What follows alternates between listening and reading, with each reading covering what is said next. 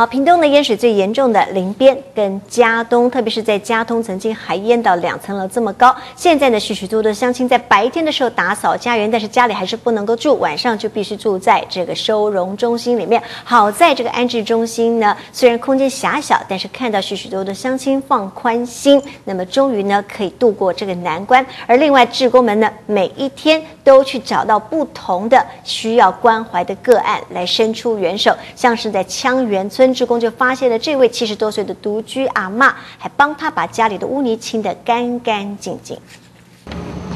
积水退去后，淤泥渐渐凝固干涸，志工想要铲起它们，得花上更多的力气。有的志工索性双手并用，将泥块挖起来。